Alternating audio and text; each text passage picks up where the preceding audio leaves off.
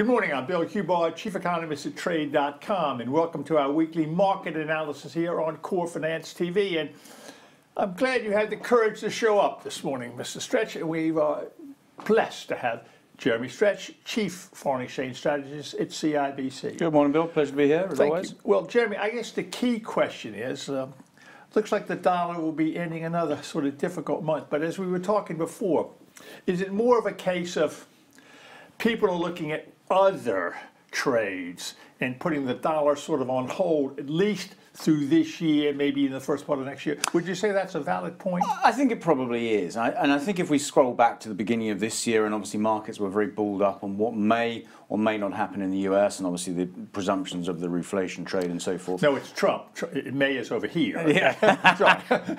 Uh, but I think in the context of, of where we are now as we sit at year end or near year end and considering 2018, uh, I think we're still on a path towards this gradual normalization of Fed policy. Yes, we know that growth is going to be reasonably constructive. We can argue about how much benefit the US economy may get from any tax cuts. Yes, it will get some, but I think it's it's going to be a rather, rather modest influence rather than a, a transformational one. So I think in that context, I think markets and investors will continue to look at currencies outside of the US. So whilst the US is going to be supported to an extent by that uh, growth uh, and, uh, and Fed trajectory. I think it's going to be under. Uh, it's going to be an underwhelming period of performance for the dollar because investors are looking for the other central banks who are now Yes. starting to get onto the onto a bias towards reversing that exceptionally mon- easy monetary stance that we've seen over the course of the last eight to ten years. And I think that's going to provide opportunities for investors outside of the dollar. So I think it's more of a case of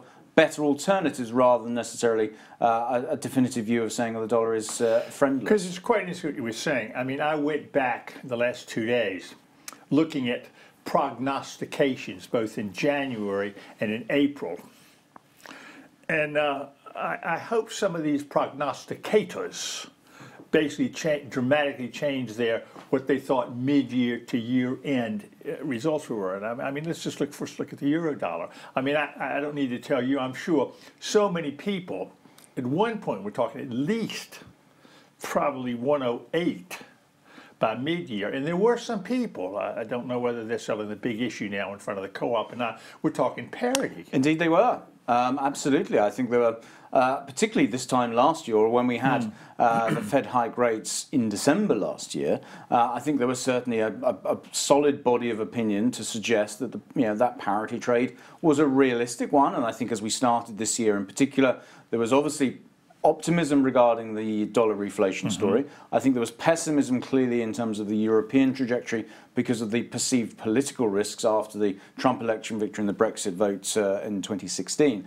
And I think the combination of those led some, not ourselves, but led some uh, to believe that the, the euro would underperform through the course of this year. But when we did get to the sort of the April to May period when those political risks Yes. started to dissipate, then of course the market sentiment started to switch, and that was when the consensus view started to become much more optimistic, and you know we started to see positioning uh, really reversing quite dramatically and encouraging this uh, significant appreciation in uh, in euro dollar, which to ex- an extent up to those highs in early September started to really cause Yeah. some concern for the E Now- ECB. Now, was a lot of this the quote impending political concerns in Amsterdam, okay, Spain, Italy, etc., etc. And then, of course, uh, the only problem we really had was none of those countries, but Deutschland über alles. Well, in a sense, well, in a sense, I think that was the irony because markets were, were, Yeah. were obviously concerned about the Netherlands and France in particular. Those were the two Hmm. uh, elections that really caused consternation. Once we got through the first round of that French election,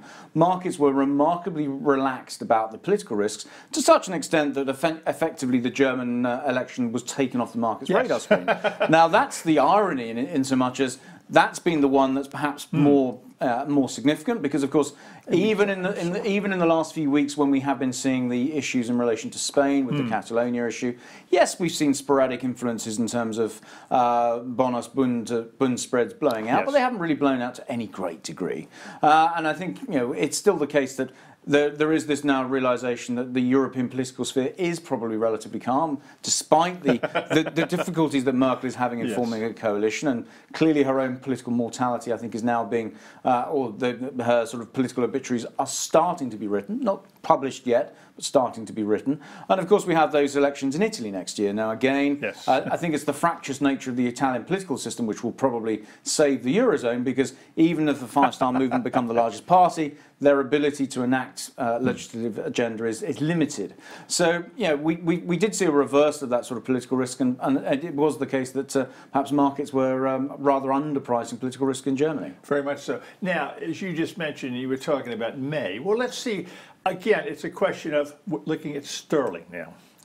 Uh, I mean, as you can see, everybody had sort of written it off. You know, we had the slight problem in June of last year. Now, I will have to say, I like the word slight problem in Yeah, June. slight- slight, yes. that's, that's, that's, that's very much the euphemism that. Uh, Uh, but then, of course, as we've seen here, and I, and I mean, one of the things is is uh, you know maybe maybe my Americanism came out, but I will have to say that I did short uh, sterling above uh, you know above the 132 level, and all I can say was thank you very much for that that nice uh, I don't know whether it was the Times article or what it was a couple of weeks ago, okay, when it looked like it was going to be all over, and of course I covered you know well below 131, the one but, almost. That's 130 and a half. Now, since then, all of a sudden, uh, you know, the market has basically said whether it's rumor, whether it's this, that, or the other. Now, uh, people are now, again, buying sterling, and I mean, this morning was what 134.50. I mean, all these people just a week or ten days ago, when it was 130 and a half, people were talking, are we heading to 125? And there was one person, and I won't say who it was, was talking, they felt 132 to 134. They've now upped it to 136 by year end, feeling that, you know, things are, whether it be the Irish border, whether it be the divorce settlement, et cetera, et cetera, things seem to be falling into place. Well, there's nothing like a hard deadline uh, to try and uh, to try and focus the mind, and also focus concessions. And I think that's actually what we're seeing here. Clearly, the UK has issued a number or created a number of red lines in the negotiation process, going all the way back to prior to the start of the face-to-face negotiations in the summer. The UK said that they wanted to discuss trade with the exit negotiations in parallel. Well, that, that red line lasted about a week until that was redrawn. Uh, and in a sense, we've gradually seen the UK position shifting. Now, of course, we saw the Florence speech uh, back in September where May, Prime Minister May acknowledged that there would be some payments. We've now seemingly moved substantially beyond that. Uh, now it seems to be the case that uh, the other outstanding issues in, in relation to the Irish border are being dealt with because, of course, you can't necessarily revolve, resolve that until you understand the trade position.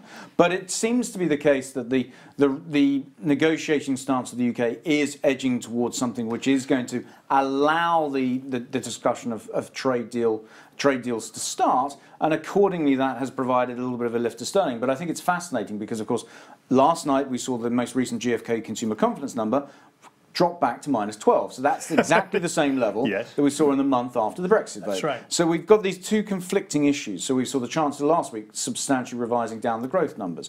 We've got weak consumer sentiment. We've got consumers who are facing uh, falling real incomes or pressure on real incomes. And yet sterling is rallying because of this presumption Yes. that the politicians are going to So- so make the right moves. We've looked at two charts euro dollar, sterling dollar. Does this now go back to what we initially talked about? Is the trade now seeming to be euro sterling? Because uh, again, I still talk to a number of people who still feel it's now at 88, just slightly above 88, the figure, okay? Still feeling that they are sticking by their 95 prediction for the middle of next year. Well, I think what we've, got, what, we- what we've got to remember is that, yes, if there's an agreement by the EU leaders in mid December to advance discussions to talking about trade, that's good news in the short term for sterling.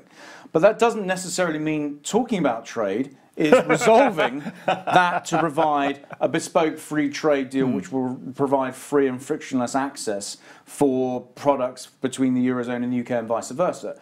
So I think there is still there is going to be still plenty of political risk to be instilled as far as sterling's performance is concerned through the course of calendar year 2018. Now, if we think that a, any, any deal probably has to be agreed by September, October to go into the ratification process, so one suspects that the news flow will probably be challenging through at least the early part of those negotiations, so probably June until July, and I think it will only be in the August September period when there may be any gradual movement in terms of pragmatism and in terms of resolution, which m- might provide sterling with some recovery phase. So I, I wouldn't be surprised if we still see euro sterling uh, trading at sort of a 94 handle by the middle of the year, and it's only in the latter stages of the year. Of the year, if we assume politicians will be pragmatic, and of course that's quite a big assumption, but if we assume that, then I think that will give latitude for sterling to recover in the latter stages of next year. Talking about politics and geopolitics, let's look at dollar yen because eh, eh, is is this one that is this a, a, North Korea trade rather than anything else? Because I mean, most people still uh, talking, you know, the, the 113, 114 level, and of course we struggled. I mean, last week, I mean, we were like what 110.80ish, okay? And I mean, I know yesterday we briefly touched 112, the figure after the GDP numbers, but it was still once we seemingly got from 11 and a half to one to, to, to 112 that it was being sold into. I think I think um, the yen is a very interesting one because we've seen markets really building very sizable short mm. positions, uh, and I think those short positions were clearly extended after um, uh, the recent snap election victory by Abe, yes. because of course that pres- the presumption is that Abenomics will be extended. Kuroda's term as governor of the BOJ is most likely to be extended as well, so the very expansionary monetary policy remaining very much in play. I think the problem for, for Japan is that markets have become rather complacent in terms of the mm. BOJ policy remit. So, whilst we're talking about central banks globally thinking about reversing monetary stimulus in some way, shape, or form, and of course, there are lots of different ways of doing that because, mm-hmm. of, because of the unconventional measures, but the presumption has been that the BOJ is going nowhere fast. but now, if you start to read some of the comments that we've seen, particularly from Kuroda over the course of the last few weeks, talking about the reversal rate, then I think there may be some signs that the BOJ themselves are also thinking about just a little bit of a, a, a tweaking of the rules, and maybe it will be a, just an allowance of a slightly steeper yield curve, allowing 10-year rates to move away from that zero percent yield. You've target. almost answered the question before I ask it. I mean, again, from a traditionalist standpoint, it's saying that normally you know, you flock to higher yields. Now, I know that, that the 10-year 235 isn't a higher yield, but against Japanese yields. So therefore, I mean, hence the reason the people that are talking 114 to 116, are they all bond people saying that that's where the money should be flowing into higher yield? Because you're getting basically no return. That's true. I mean, I mean, clearly yield spreads are favourable US over Japan, but I think the point is, in, in return, in terms of Japan, is that of course they are a nation of savers and they are uh, particularly savers, not slavers, right? Yeah. Okay. Particularly pertinent in terms of uh, of their fund flows.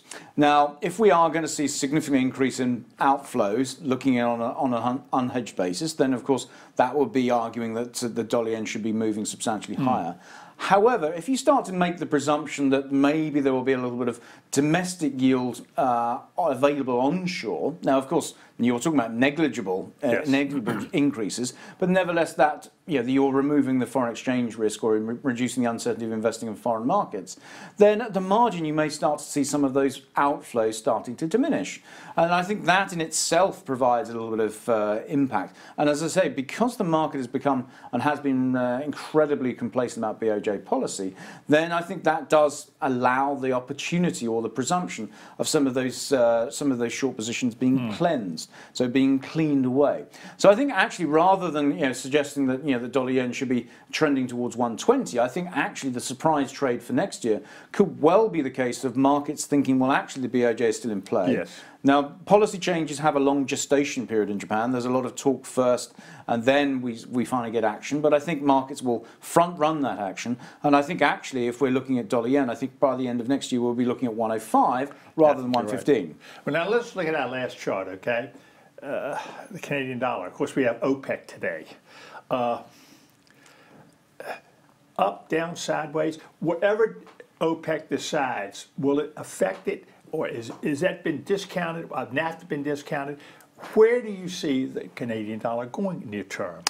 Near term, well, I think it's very difficult to stand in the face of uh, an uptrend in dollar CAD. So I think Canadian dollar is uh, still likely to underperform. We obviously have the ongoing headline risk of NAFTA, and we await the next round of face-to-face negotiations in uh, later later in the spring. But that inherent risk, mm. I think, does uh, continue to overarch. I think markets are almost priced for, for perfection as far as OPEC is concerned, assuming that the production cuts will be rolled over for another nine months. If there is any degree of slippage on that, then the oil price could uh, you know, suffer a little bit of a correction. And of course, there is still a reasonable correlation. It's not an elevated, but a reasonable correlation between uh, WTI and the CAD uh, dollar's performance. But I think the ultimate issue, as far as uh, Canada is concerned, is positioning and interest rate spreads. Now, the Bank of Canada, after those back to back rate hikes in July and September, have now sat back and said, well, we want to see how the, the economy is going to react to those, those hikes. Well, the data has certainly rolled over very significantly. Mm. If you look at the economic surprise index, that has retreated very dramatically. And in fact, the contrast between the US surprise indices in the US and Canada is marked. And so accordingly, we're seeing outperformance at the front end of the Canadian bond curve, and those interest rate spreads are very much predicated on dollar CAD continuing to go higher. So I think we are, you know, we're going to be going through those sort of 129, 15, 20 triple top, top highs that we had um, a, a, few weeks ago, and I think ultimately we're going to be we're going to be heading back to maybe 131 in the quarter, if not by the end of this year, but certainly into the beginning part of uh, 2018. Well, Jeremy, thank you very much for joining us today, and Thanks thank you very much. Y'all have a lovely weekend, and we will see you next Thursday. Thank you.